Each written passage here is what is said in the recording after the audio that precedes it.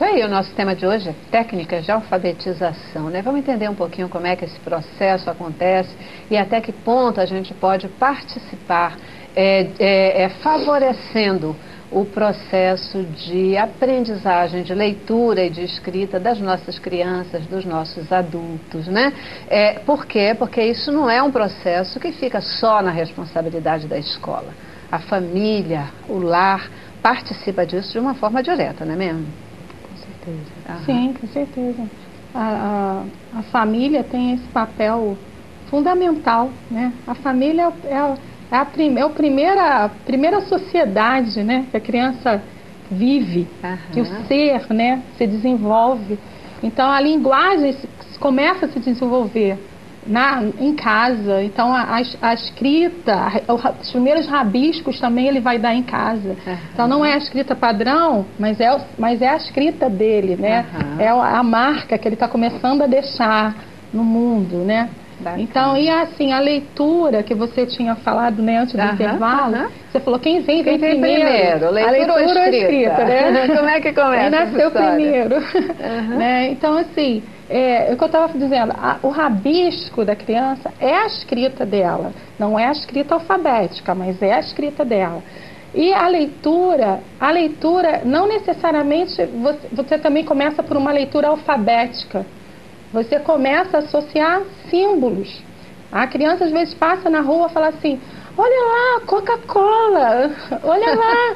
Não sei, aí mas ele já está lendo, uhum, né? Uhum. Quer dizer, é a, é a, logografia, quer dizer, ela, ela decodifica a imagem e ela associa aquela imagem à escrita. Quando ela vê outra coisa escrita com aquela letra que é parecida com a Coca-Cola, ela vai dizer que aquilo ali é a Coca-Cola. Uhum. Porque ela, ela faz essa associação. Uhum. Então, isso também é parte de um processo de alfabetização. Perfeito. Né? E para complementar, isso é contextualizar, né? trazer rótulos para dentro da sala de aula, rótulos mesmo de, de tirou o rótulo da garrafa leva, rótulo do leite leva. Então isso é uma forma de contextualizar, de trazer as letras e a função social mais uma vez falando. A questão da família, assim, eu que trabalho atualmente em consultório, né, atendendo crianças e adolescentes que por algum momento passam por algum processo de dificuldade na aprendizagem, o que eu percebo assim, o valor que a família dá às produções dos filhos é fundamental para que a própria criança se sinta valorizada, produtiva, uhum. autora do próprio, do próprio conhecimento. Então, eu percebo que às vezes falta um pouco isso, né? Que os pais é, deem o valor necessário para que a criança comece, comece a valorizar aquilo e se sentir valorizada. Só, só, vamos decodificar um pouquinho Sim. isso que você acabou de falar, é, que, que, a família dê valor às produções. O que, que são essas produções? Algumas é, escolas fazem, e eu acho bem bacana, feiras né, que expõem as produções. Que produções são essas? Trabalhos que eles fizeram, pesquisas em forma de cartazes, e eles ficam muito felizes. E é uma forma de se sentir valorizado. Ah, aquele então, desenho que fez na isso, escola. o desenho leva. que fez na escola, uma pesquisa, foi a um passeio e desenhou sobre o passeio e fez aquele desenho e já fez um rabisco. É, não sei se você se lembra, eu tinha um caderno quando eu era criança todo cheio de minhoca. aquilo ali era minha escrita. E aquilo ali é uma fase da construção da escrita. É a fase pré-silábica. E aposto que as minhocas, elas significavam tanta coisa, uma né? coisa, minha vida toda. Uma história. Então, assim, essa questão dos pais entrarem na escola, ou mesmo em casa, olhar esses trabalhos, parabenizar, eu acho que é muito importante. É, existe diferença no processo de alfabetização de é, crianças e adultos? Existe a questão do contexto, ah, é. não é?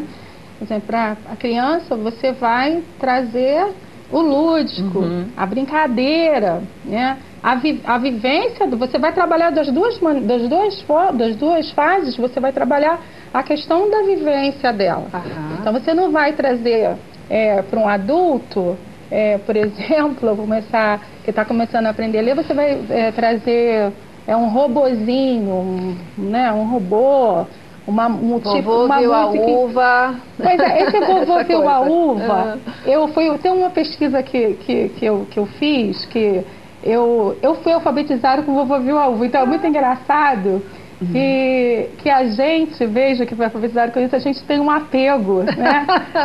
é, um apego emocional, né? A, a, nossa cartilha. O meu era Pompom Meu Gatinho na época.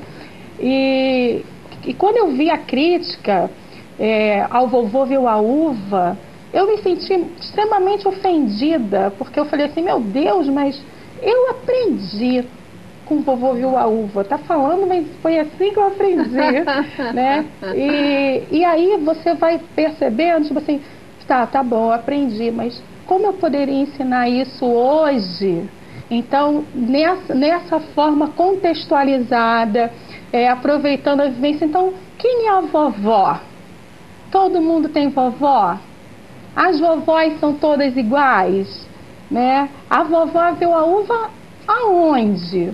Quando? Como era essa uva que a vovó é, viu? Né? Que sabor ela tinha? Então, tipo assim, você vai trazendo essas coisas, vai fazendo a criança imaginar.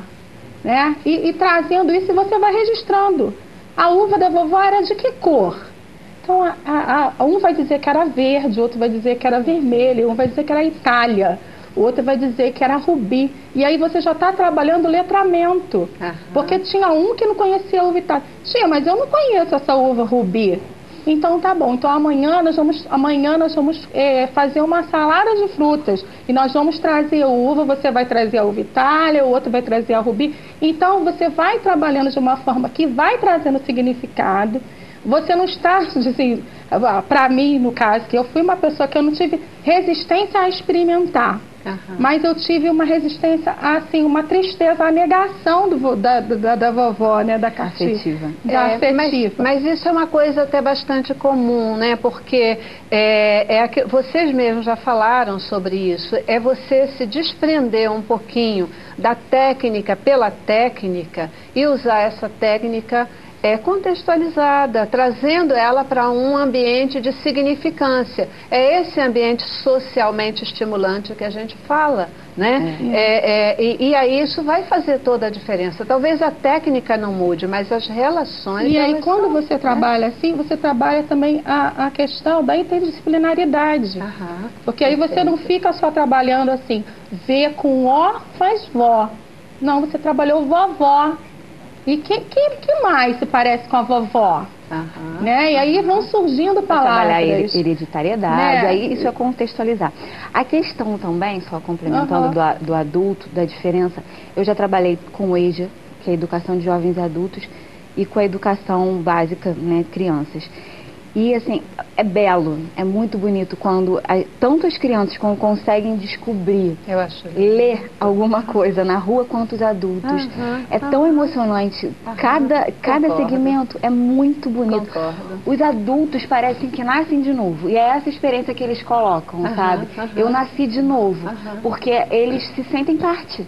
Eles são capazes de preencher um cheque sabendo o que está escrito ali antes da parte que ele preenche. Então, é muito bonito. E uhum. é isso que a professora colocou. Não é a, é a, sua concepção de educação, né, do professor. Uhum. Muitas vezes não importa muito a técnica, não importa muito o método, não importa muito o que eu digo assim, em termos de significado.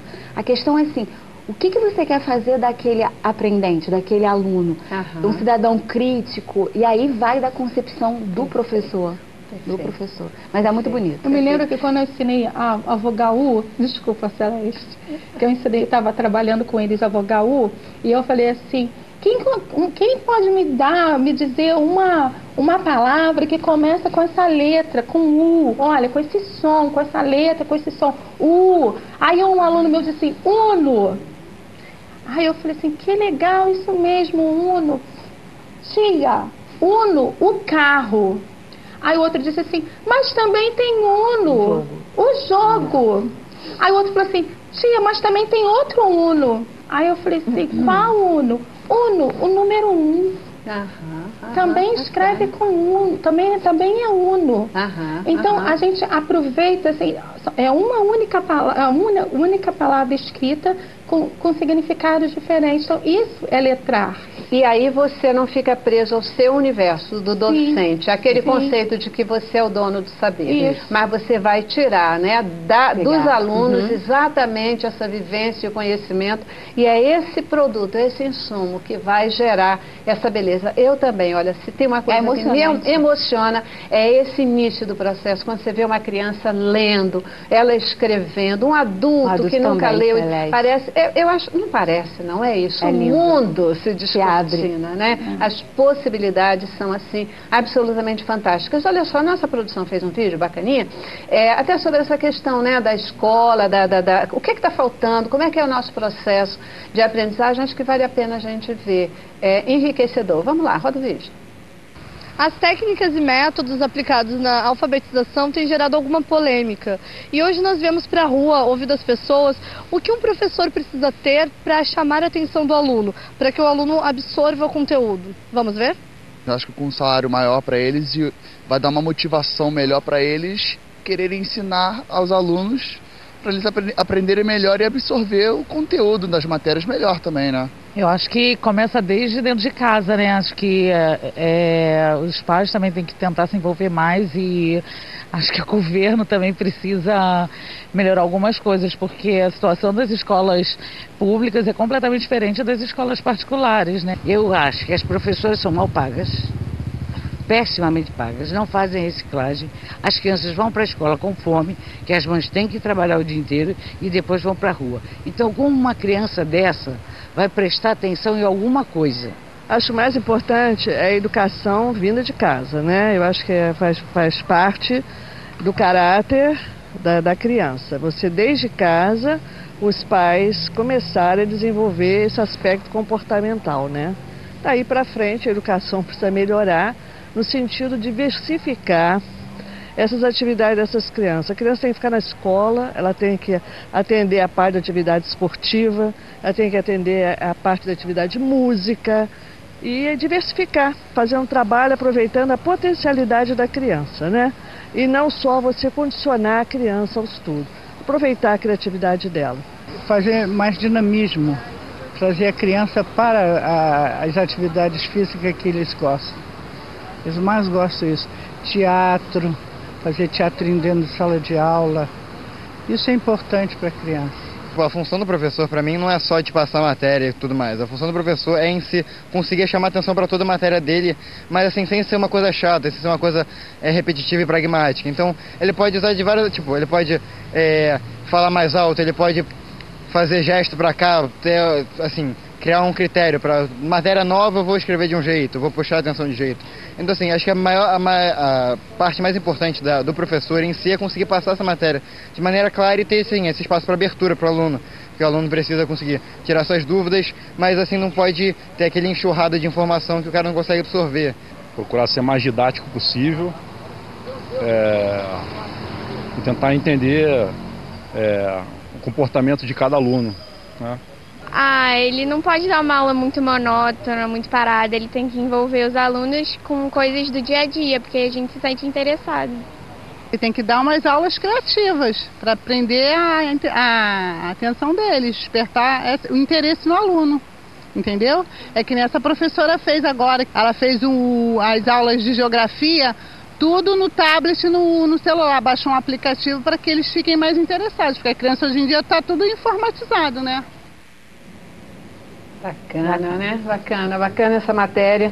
E é interessante como a gente vai ver essa história da, da aula atrativa, né? de chamar atenção, de envolver o aluno, é, sempre presente aí dentro das propostas é, do próprio público, né? E de diferentes faixas etárias a gente, a gente viu ali. Mas olha só, eu já vou para o nosso intervalo e eu volto, a gente comenta um pouquinho o vídeo e queria também ouvir de vocês quais são as técnicas de alfabetização hoje mais eficientes, mais utilizadas que a gente pode compartilhar até para o papai, para a mamãe, para o cuidador entender e, quem sabe, ajudar dentro de casa, né?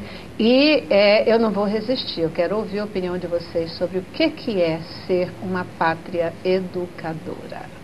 Intervalo.